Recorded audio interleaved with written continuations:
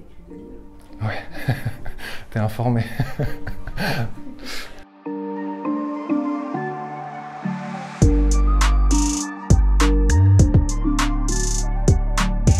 Je m'appelle Folamour, je suis producteur et compositeur de musique.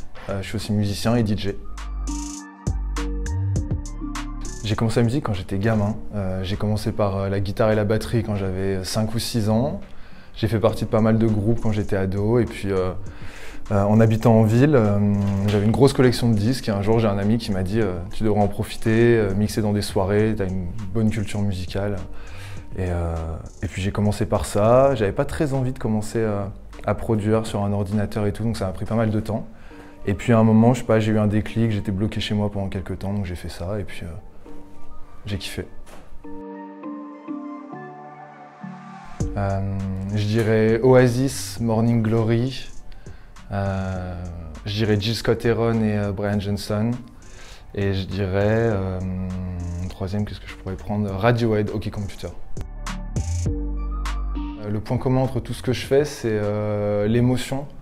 Je dirais que que ce soit quand je mixe, où j'essaie de partager euh, beaucoup de joie, on va dire que j'essaie vraiment qu'on ait un moment joyeux tous ensemble, un moment où on oublie le reste et où on est juste euh, en harmonie et, tous bien ensemble à partager des bonnes vibes. quand je compose de la musique, je dirais que l'essentiel c'est les histoires et ce qui va autour. Ça va être plein, plein d'émotions, ça va être de la nostalgie, ça va être de la joie, ça va être de la tristesse. Donc euh, je dirais que l'essentiel de ce que je fais, c'est essayer de faire ressentir des choses euh, par différents moyens. Ça ressemble, à, euh, ça ressemble à moi qui essaye de faire des choses et que parfois j'y arrive. Donc je sais pas, je vais jammer sur différents instruments, commencer à faire des batteries, commencer à essayer de faire des choses par-dessus et puis ensuite je me laisse juste porter par, par ce qui se passe et puis c'est plein d'hasards qui finissent par donner de la musique. c'est pas facile. Euh, je dirais que le secret d'une bonne chanson, c'est qu'elle fasse ressentir quelque chose. Je dirais que euh, quel que soit le sentiment que faire sentir une chanson, si faire sentir quelque chose, c'est de la bonne musique. Qui m'inspire le plus, c'est euh, des souvenirs, c'est des moments.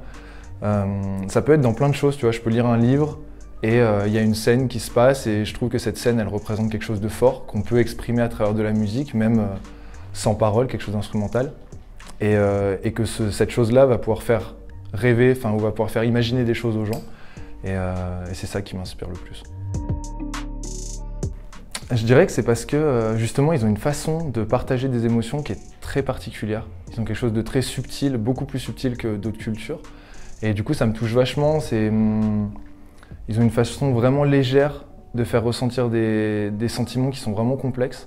Et moi ça m'a toujours marqué, que ce soit dans les animés, que ce soit dans les mangas, que ce soit même dans la culture générale, dans les peintures, il y a vraiment quelque chose de très beau et de très profond, de beaucoup plus simple que ce qu'on peut voir à la première lecture. Et, euh, c'est quelque chose qui me touche beaucoup. Ça nourrit ma musique parce que ce que j'apprécie dans les livres, c'est que chacun se fait son imaginaire autour de ce qu'on lit. Et c'est quelque chose que j'essaye de faire moi à travers ma musique. Ça veut dire que j'essaye de ne pas imposer quelque chose à la personne qui écoute ma musique, mais j'essaye qu'elle-même se crée l'histoire qu'elle entend dans ma musique. Euh, après, je peux essayer d'aiguiller à travers les titres, à travers des choses comme ça, à travers les paroles par exemple. Mais euh, ce que j'aime dans les livres, c'est vraiment ça, c'est que chacun se crée son propre imaginaire et que du coup, on a quelque chose d'extrêmement personnel à travers le travail de quelqu'un d'autre. Et je trouve que c'est quelque chose qu'on a moins dans le cinéma que j'aime beaucoup ou dans les séries. Et euh, ça, ça me touche vachement. Mon amour pour le cinéma, c'est juste que ça a été un des médiums avec la musique qui m'a touché le plus jeune. Vraiment, quand j'étais gamin, euh, j'ai regardé des films, de, des films de Kubrick, des films d'Hitchcock, euh, et ça m'a bouleversé. Et aujourd'hui, je suis encore bouleversé très régulièrement en regardant des films. Et, euh, ça revient à l'émotion. C'est juste qu'il y, a plein de, y a plein de films que je regarde où j'en ressors différent. Je dirais que ça me change. Euh, et, ça, c'est quelque chose que moi j'essaie de faire dans ce que je fais, et c'est quelque chose que, en tout cas, moi j'adore vivre quand je regarde une œuvre ou que je lis une œuvre, et qu'à la fin je suis plus la même personne, même si c'est un tout petit bout de moi qui a changé, c'est quelque chose qui me touche vachement. Quand j'ai composé Oumami, qui était mon premier album, c'était vraiment l'aboutissement de tout ce que j'avais fait avant ça. C'était l'aboutissement de, de mon amour du sampling, c'était mon aboutissement de mon amour de la house. Et quand j'ai fini ça, j'avais l'impression d'avoir fini un chapitre. Et j'avais envie de commencer quelque chose d'autre, quelque chose qui allait dans une direction différente et qui annoncerait la suite. Et donc, euh, bah, j'ai quitté mes manières de produire, j'ai réappris de nouvelles manières de produire, j'ai appris à enregistrer des instruments, j'ai appris à écrire des chansons, quelque chose que j'avais jamais fait avant. Et donc ça a été ça. Sinon, euh, l'album en soi est un peu comme Umami, c'est une histoire, euh, il y, a, un suivi entre tout, mais vraiment ce qui a changé, c'est la façon de composer, c'est vraiment complètement différent. Eh ben parce que euh, j'ai pas envie de faire ressentir la même chose à quelqu'un qui est dans le public d'un de mes sets et à quelqu'un qui est chez lui, en train d'écouter ma musique, ou qui est dans le bus, ou qui est en train d'aller en cours, ou qui est avec ses potes. Euh, quand je compose de la musique, j'essaye de vraiment faire quelque chose d'extrêmement varié. Euh, j'apprécie faire ressentir de la tristesse, de la nostalgie, des choses comme ça, alors que quand je suis en set, vraiment tout ce que je veux, c'est une harmonie. C'est vraiment quelque chose de positif, quelque chose. Euh, ce que je veux, c'est que les gens repartent avec le sourire. Alors que quand je compose de la musique, c'est pas spécialement l'objectif. Mon objectif n'est pas toujours de rendre heureux la personne, c'est juste de lui faire ressentir des choses et de l'emmener avec moi dans un souvenir que j'ai ou dans un moment que j'ai vécu. Donc c'est vraiment pour ça que, au final, le moyen que j'utilise et la musique que je joue n'est pas du tout la même. Et c'est pour ça que je joue assez peu de ma musique dans mes sets.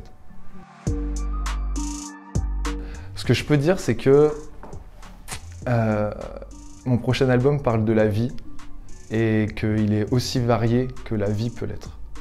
Euh, donc il y a vraiment, on va dans tout ce qui est possible d'imaginer dans de la musique. J'ai essayé de faire ça. On verra si c'est réussi.